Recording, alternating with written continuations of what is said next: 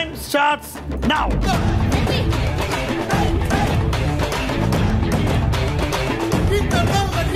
உங்கள் சங்கீத மணியில் தொபுக்கடையில் விளையாண்டு வந்திருக்கிறது.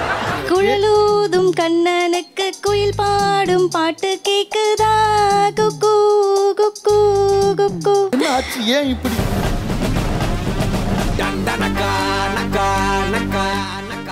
கட்ட திராணி இன்று காலை பதினொன்று முப்பது மணிக்கு உங்கள் பிளாக்ஷிப் டிவியில் காண தவறாதீர்கள். பிளாக்ஷிப் டிவி எல்லாருக்கும் நல்லா இருக்கும்.